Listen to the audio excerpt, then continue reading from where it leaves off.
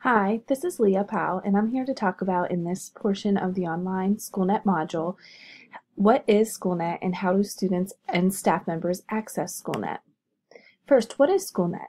SchoolNet is a role-based instructional management system provided through the Home Base resources. This system allows for student performance data to be given easily you can also access lesson plans as well as resources through SchoolNet along with assessment questions that are pre-made and aligned to your standard course of study. How do staff and students access SchoolNet? You will first begin by going to the my.ncedcloud.org. Here, you will be prompted to enter your staff UID number or students will enter their student ID number. After this, you will then enter your unique password that you would use for PowerSchool to get into the NC EdCloud system. Once you are here, you will be on your application homepage and you will access SchoolNet by using the little house option that is located here on this page. What if a student forgets a password? Students will forget their passwords as well as be accustomed to using their parent information to access their own grades. Students must have their own student ID number as well as a unique password to access the NC EdCloud and their SchoolNet system. So let's talk about what are the steps to follow if a student forgets their password. First, you will begin with the student themselves. Then they will move on to their classroom teachers. Next step will be to contact an instructional technology facilitator, and from there, the last person to reach out to would be the data manager. Students will begin with themselves if they do not remember their password or their user ID. He or she is able to access a Need Help option on the NC EdCloud homepage. Once they do this, they will be provided with some help links. They can choose forget my username or password, forget my password, or and so on. If, is the, if this does not help the student access SchoolNet or their PowerSchool information, they then can move on to the classroom teacher. With the classroom teacher, each teacher is able to view a student's username as well as change or provide them a password for a student that is enrolled in their classes. In order to do so, the teacher would log into the system as well as access their applications, profiles, and look at My Students. And I'm going to demonstrate this for you in a second.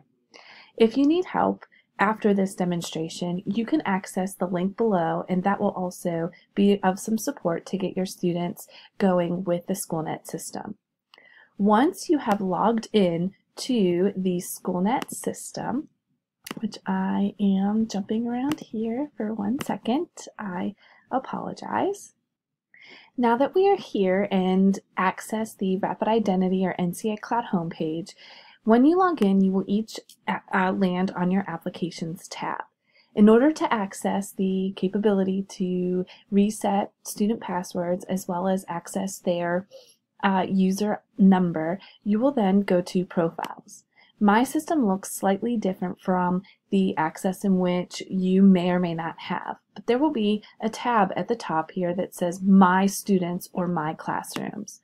Once you enter this, you will have a list of your students' names available in alphabetical order for every student in your class that you can then check and choose Change Password. With the view that I have now, the Change Password option is grayed out and I'm not able to access any of this. However, once you choose some student names, so I can see on this landing, I have selected some students and I was able to select change password. From here, you have the capability to set the password to a default va value, which you can see here, there's a default value for each student. So I could select set, set password to default value and select save, or I can also simply type in a password here that will allow the students to use this password, and you need to enter it twice, to access their NC EdCloud. If the student is with me when I complete this process, I usually have them type the password in which they would like here and select save. If the student is not with me when I need to change their password, I generally select a uh, generic password such as awesome16 here, and I select user must change password at next login so that the, it gives the student the opportunity to provide their own password. I'm going to now head back here. So if it does not work out that the teacher is able, or you as the teacher are able to change the student password, you will then reach out to an instructional technology facilitator. You can send an email to either myself, and I am the instructional tech for the high schools, or you can send an email to Dr. Jane Steelman, who is the instructional tech for the middle schools, or Ms. Gwen Lofton, and she is the ITF for the elementary schools. If an email is not the way in which you would like to correspond with us, you can also access this link, this goo.goal, and complete this for each student that is having difficulty, and we will reach back out to them with a password and access to the IAM system or SchoolNet. Please do not hesitate to reach out to any of the three of us for help with SchoolNet or any other type of instructional tech tools. The very last person to reach out to is the data manager.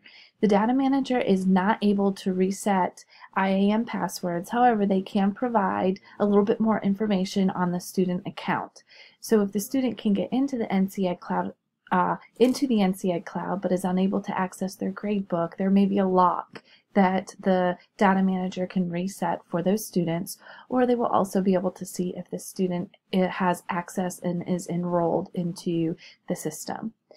So I would like to say for this portion of the online module, thank you very much, and please let me know if I can help in any way with providing you or your students access, as well as learning more about what SchoolNet is. Have a good day.